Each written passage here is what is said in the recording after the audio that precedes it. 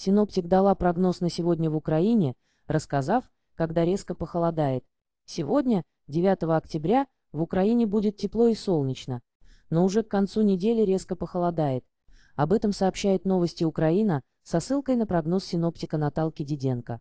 В среду в Украине будет тепло, сухо и солнечно.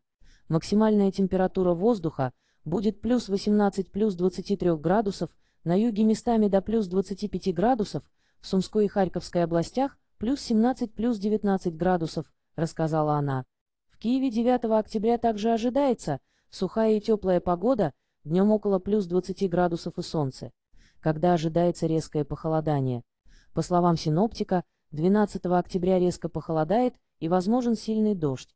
В Киеве в субботу сильный дождь и похолодание. 12 октября на юге и востоке Украины еще задержится более теплая погода, однако с воскресенья и там предполагается снижение температуры воздуха, констатировала Диденко. В Киеве сильный дождь и похолодание ожидаются 12 октября, Facebook, Комтала, Диденко. Октябрь 2024 года в Украине. Начало октября в Украине выдалось дождливым.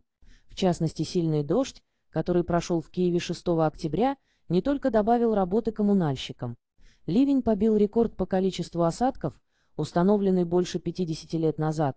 Как рассказали синоптики, причиной непогоды в большинстве областей Украины в последние дни стал циклон. Однако в ближайшее время будет преобладать погода без осадков. Детальнее о погоде на текущую рабочую неделю в Украине читайте в материале РБК «Украина».